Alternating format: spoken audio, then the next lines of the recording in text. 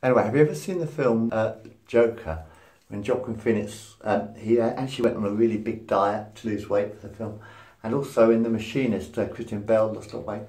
Well, I, that's very dangerous actually. That is a bit dangerous, I think. I know you've got someone watching over you, but I think it's a bit dangerous to lose that amount of weight to play a movie. But I still think, um, is it, Ra- I can't remember his fucking name now. The guy who played Freddie Mercury was excellent. He did, no, he did a really nice job of playing Freddie Mercury. But here's a. Um, do you remember Rogue One? Have you ever seen Rogue One? So I've got to talk really for the tape goes. Um, have you seen Rogue One? And they had uh, Peter Cushing was in Rogue One playing uh, Moff or whatever, Shem Moff. But um, yeah, Peter Cushing was in Rogue One, kind of thing. And he was been dead for about 30 years. He'd been dead for about 20 or 30 years. And he was in Rogue One. So how about doing it with the same actor, get the same actor to play Freddie Mercury, but because you've got all this computer technology now, I can't get this phone working, you've got this computer technology, you could slim down his face using the computer, couldn't you? Hmm? You know, to make him look like Freddie Mercury when Freddie Mercury was dying of AIDS. Because Freddie Mercury actually recorded quite a few more songs with Queen after uh, Live Aid, I mean after Live Aid, etc. But you could get the same actor, um, can't remember your bloody name now, to play the same actor who was in Bohemian Rhapsody to play Freddie Mercury when Freddie Mercury was dying for a sequel to tell the rest of the story, like the Spanish story, etc.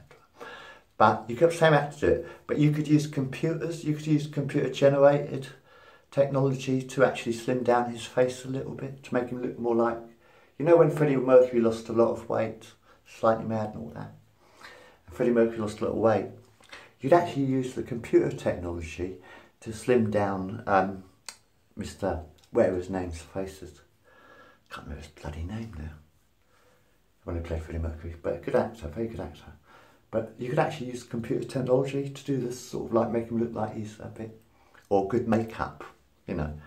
I don't think you could do it with good makeup. Well, you could do it with good makeup. Sometimes if you use sort of a bit of white or black, or whatever, you can sort of tone down the face because like Freddie got a bit, you know, lost a lot of weight towards the end.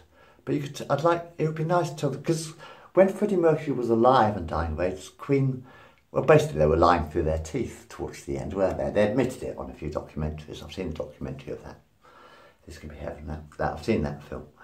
Um, but, you know, they admitted that they were sort of like saying that Fred is okay, he's just lost a bit of weight. Nothing wrong with Fred, he's just lost a little bit of weight, kind of thing. do you know what I mean? Because no one actually knew that Freddie. Well, they didn't. It was pretty obvious.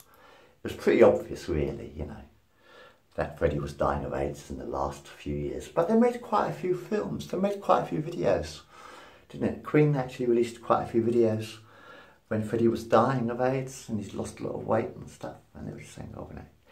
They denied the AIDS thing right until he died, actually. I, I don't think they actually admitted they knew about Freddie's illness until Freddie died. So it would be nice to tell the story of the later years, you know, Freddie's last years.